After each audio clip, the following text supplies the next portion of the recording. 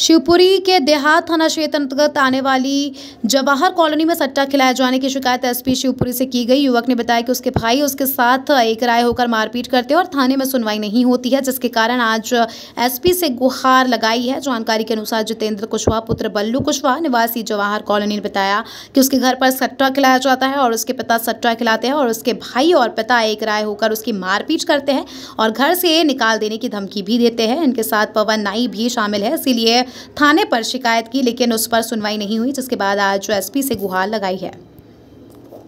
तुम्हारा हाँ, जितिन कुशवाहा कहाँ से आए हो ज- जवा कॉलोनी जवाहर आज शिविर के रहने वाले हैं एस पी ऑफ़िस आए हो क्या हो गया एफ़ सी ऑफ़िस आए क्या हो गया मामला मेरी मेरी मारा पीटी का लड़िया लड़िया से मारा लड़िया से मारा है कौन ने मेरे भैया ने क्या नाम है केशव कुशवाहा कहाँ रहता है जी जवा कॉलोनी साथ में ही रहते हो हाँ पिता के संबंध में क्या शिकायत करने आए हो मतलब तीनों भैया तीन भैया एक शादी हुई मैं कमा रहा हूँ एक छोड़ा होगा पिता की क्या शिकायत पिता करने आए आवेदन में पिता का भी ज़िक्र किया है पिता का क्या मामला है?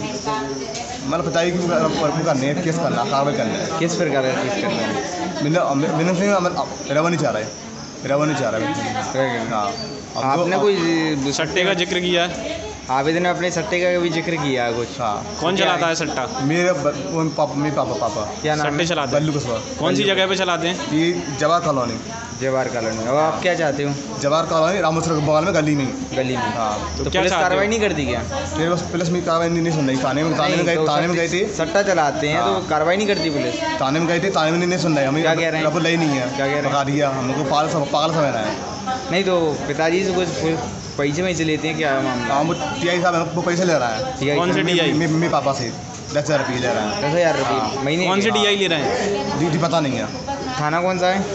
जी दिया दिया था थाने वाले।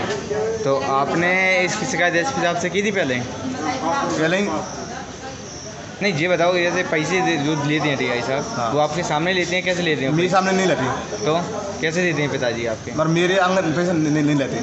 कैसे देते हैं पिताजी पैसे दस हज़ार रुपये देते हैं, तो दस हज़ार रुपये हाँ। इतना पता है? हाँ इसलिए कार्रवाई नहीं हाँ कार्रवाई नहीं अब आप क्या चाहते हो? भूख का प्यासा पराऊँगा मैं भड़का पराऊँगा मतलब। मुझको घर में नहीं घुसा रहा है मैं मारा पीटी करेंगे कहा। तुम दारू मारू पीती हो गया? नहीं पीती तो फिर क्यों ऐसा क्यों कर रहे हैं वो तुम्हारे साथ? मैं पानी काम करता हूँ और मुझको रोटी खवा रहा हूँ सूखी सूखी रोटी खवा रहा है अच्छा अचार से। और टिब्बे में टिब्बे में टिब्बे में रोटी नहीं, नहीं दे रहे हैं नहीं तुम्हारे साथ ऐसा क्यों कर रहे हैं फिर वो? कारण भी तो होगा कुछ।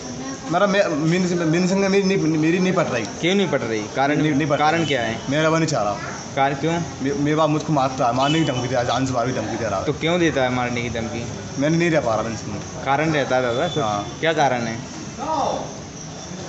कारण क्या है नशा करते हुए वही नहीं नशा बंद नहीं करती तो फिर कारण क्या है पिताजी क्या के वजह है क्या है इसकी पिटाई की पिटाई की करते हैं हम हम मतलब हम करना चाहते हैं हाँ